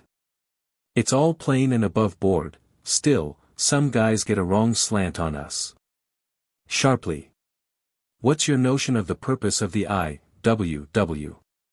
Yank, ah, I know all about it. Secretary, sarcastically. Well, give us some of your valuable information. Yank, cunningly. I know enough not to speak out of my toin. Then resentfully again. Ah, say. I'm Reg Lar. I'm wise to the game. I know you got to watch your step with a stranger. For all yous know, I might be a plainclothes dick, or some pen, that's what you read tin kin, huh? Ah, forget it. I belong, see. Ask any guy down to the docks if I don't. Secretary, who said you didn't? Yank, after I'm initiated, I'll show ya. Secretary, astounded. Initiated? There's no initiation. Yank, disappointed. Ain't there no password, no grip nor nothin'? Secretary, what did you think this is, the Elks, or the Black Hand? Yank, the Elks, hell. The Black Hand, dairy a lot of yellow backstickin' Janese. Nah. This is a man's gang, ain't it? Secretary, you said it. That's why we stand on our two feet in the open. We got no secrets. Yank, surprised but admiringly. You mean to say you always run wide open, like this? Secretary, exactly. Yank, then you sure got your noive with yous. Secretary, sharply. Just what was it made you want to join us? Come out with that straight. Yank, you call me. Well, I got Noive, too. Here's my hand. You wanter blow tings up, don't ya? Well, that's me. I belong. Secretary, with pretended carelessness. You mean change the unequal conditions of society by legitimate direct action, or with dynamite? Yank, dynamite. Blow it often to oith, steel, all the cages, all the factories, steamers, buildings, jails, the steel trust and all that makes it go. Secretary, so, that's your idea, eh? And did you have any special job in that line you wanted to propose to us? He makes a sign to the men, who get up cautiously one by one and group behind YNK. Yank, boldly. Sure, I'll come out with it. I'll show yous I'm one of the gang. Dearst dat millionaire guy, Douglas. Secretary, President of the Steel Trust, you mean? Do you want to assassinate him? Yank, nah, dat don't get you nothin'. I mean blow up the factory, the Woiks, where he makes the steel. That's what I'm after, to blow up the steel, knock all the steel in the world up to the moon. Dat'll fix tings. Eagerly, with a touch of bravado. I'll do it by me lonesome. I'll show ya. Tell me where his Woiks is, how to get there, all the dope. Gimme the stuff, the old butter, and watch me do the rest. Watch the smoke and see it move. I don't give a damn if they nab me, long as it's done. I'll soive life for it, and give em the laugh. Half to himself. And I'll write her a letter and tell her to hairy ape done it. Dad'll square tings. Secretary, stepping away from Yank. Very interesting. He gives a signal. The men, huskies all, throw themselves on Yank and before he knows it they have his legs and arms pinioned. But he is too flabbergasted to make a struggle, anyway. They feel him over for weapons. Man, no gat, no knife. Shall we give him what's what and put the boots to him? Secretary, no. He isn't worth the trouble we'd get into. He's too stupid. He comes closer and laughs mockingly in Yank's face. Ho ho. By God, this is the biggest joke they've put up on us yet. Hey, you joke. Who sent you, Burns or Pinkerton? No, by God, you're such a bonehead I'll bet you're in the Secret Service. Well, you dirty spy, you rotten agent provocator, you can go back and tell whatever skunk is paying you blood money for betraying your brothers that he's wasting his coin. You couldn't catch a cold. And tell him that all he'll ever get on us, or ever has got, is just his own sneaking plots that he's framed up to put us in jail. We are what our manifesto says we are, neither more or less, and we'll give him a copy of that any time he calls. And as for you, he glares scornfully at YANK, who is sunk in an oblivious stupor. Oh, hell, what's the use of talking? You're a brainless ape. Yank, aroused by the word to fierce but futile struggles. What's dat, Yashini bum, yeah. Secretary, throw him out, boys. In spite of his struggles, this is done with gusto and eclat. Propelled by several parting kicks, Yank lands sprawling in the middle of the narrow cobbled street. With a growl he starts to get up and storm the closed door, but stops bewildered by the confusion in his brain, pathetically impotent. He sits there, brooding, in as near to the attitude of Rodin's thinker as he can get in his position. Yank, bitterly. So dem boys don't think I belong, neither. Ah, to hell with em. Dairy in the wrong pew, the same old bull, soapboxes and Salvation Army, no guts. Cut out an hour often the job a day and make me happy. Gimme a dollar more a day and make me happy. Tree square a day, and cauliflowers in the front yard, equal rights, a woman and kids, a lousy vote, and I'm all fixed for Jesus, huh? Ah, hell. What does dat get ya? Dis tings in your inside, but it ain't your belly. Feed in your face, sinkers and coffee, dat don't touch it. It's way down, at the bottom. You can't grab it, and you can't stop it. It moves, and everything moves. It stops and the whole world stops. That's me now, I don't tick, see, I'm a busted Ingersoll, that's what. Steel was me, and I owned the world. Now I ain't steel, and the world owns me. Ah, hell. I can't see, it's all dark, get me. It's all wrong. He turns a bitter mocking face up like an ape gibbering at the moon. Say, use up dear, man in the moon, you look so wise, gimme the answer, huh? Slip me the inside dope, the information right from the stable, where do I get off at, huh? A policeman, who has come up the street in time to hear this last, with grim humor. You'll get off at the station, you boob, if you don't get up out of that and keep moving. Yank, looking up at him, with a hard, bitter laugh. Sure. Lock me up. Put me in a cage. Dat's the only answer you know. Guan, lock me up. Policeman, what you been doin'? Yank, enough to gimme life for. I was born, see. Sure, that's the charge. Write it in the blotter. I was born, get me. Policeman, jocosely. God pity your old woman. Then matter of fact. But I've no time for kidding. You're soused. I'd run you in but it's too long a walk to the station. Come on now, get up, or I'll fan your ears with this club. Beat it now. He hauls Yank to his feet. Yank, in a vague mocking tone. Say, where do I go from here? Policeman, giving him a push, with a grin, indifferently. Go to hell. Curtain. Scene 8. Scene, twilight of the next day. The monkey house at the zoo. One spot of clear gray light falls on the front of one cage so that the interior can be seen. The other cages are vague, shrouded in shadow from which chatterings pitched in a conversational tone can be heard. On the one cage a sign from which the word gorilla stands out. The gigantic animal himself is seen squatting on his haunches on a bench in much the same attitude as Rodin's Thinker. Yank enters from the left. Immediately a chorus of angry chattering and screeching breaks out. The gorilla turns his eyes but makes no sound or move.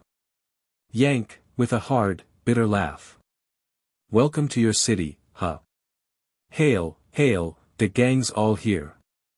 At the sound of his voice the chattering dies away into an attentive silence. Yank walks up to the gorilla's cage and, leaning over the railing, stares in at its occupant, who stares back at him, silent and motionless. There is a pause of dead stillness. Then Yank begins to talk in a friendly confidential tone, half mockingly, but with a deep undercurrent of sympathy.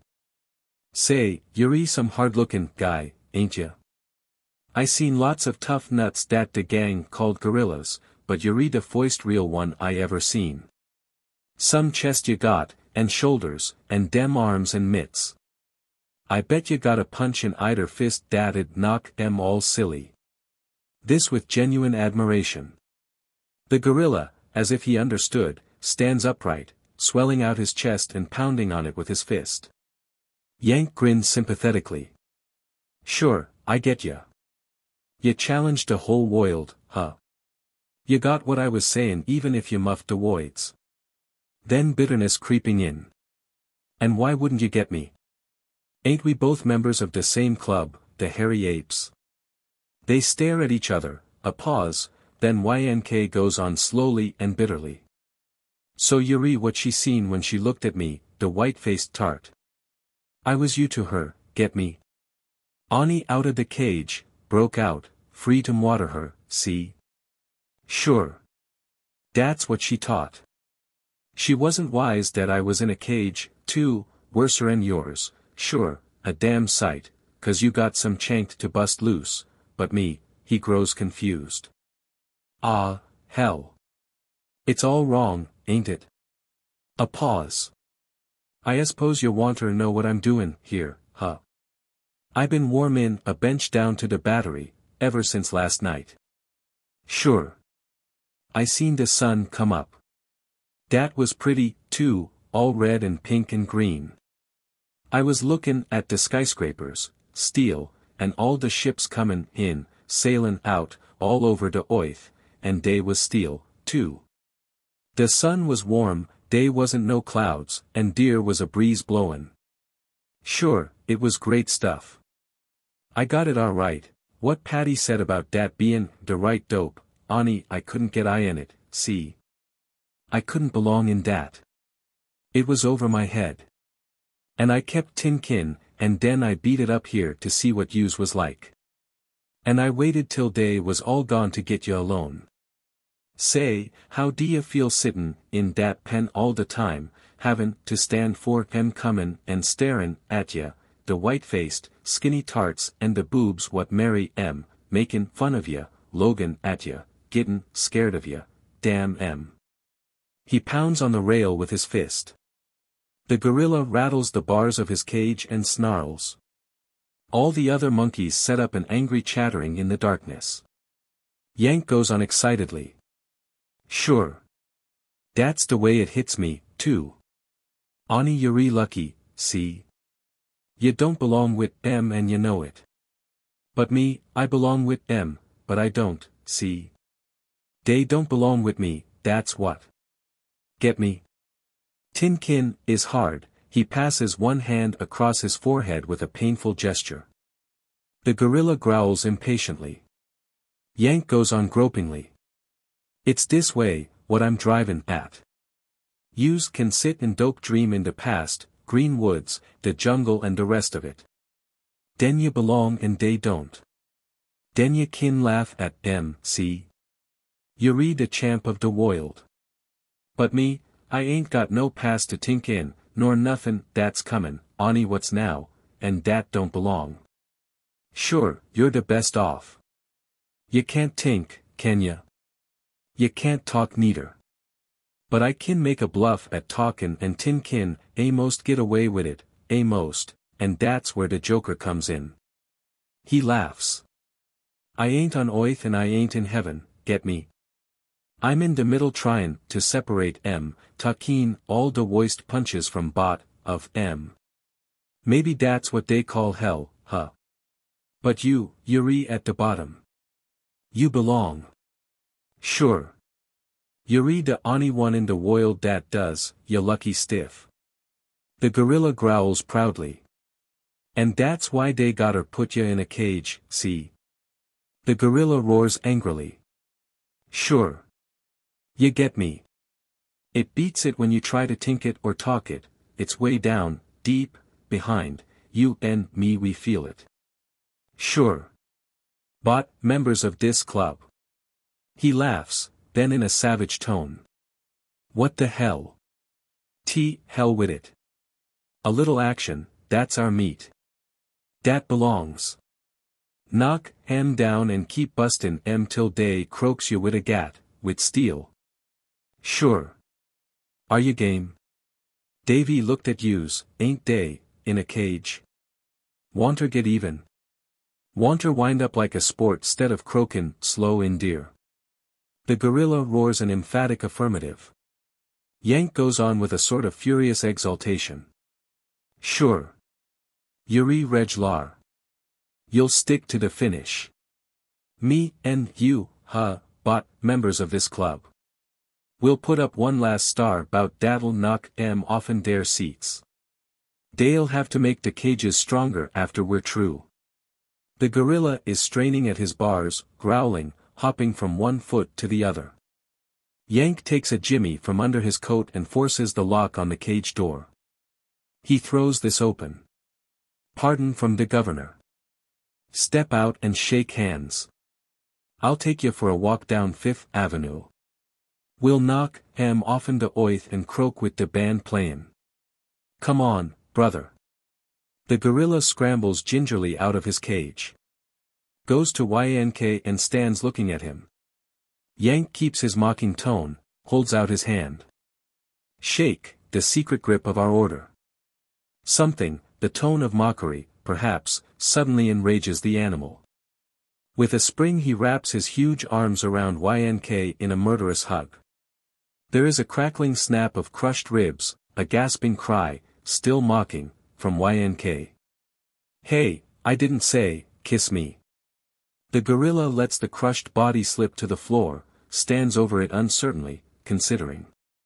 Then picks it up, throws it in the cage, shuts the door, and shuffles off menacingly into the darkness at left. A great uproar of frightened chattering and whimpering comes from the other cages. Then Yank moves, groaning, opening his eyes, and there is silence. He mutters painfully.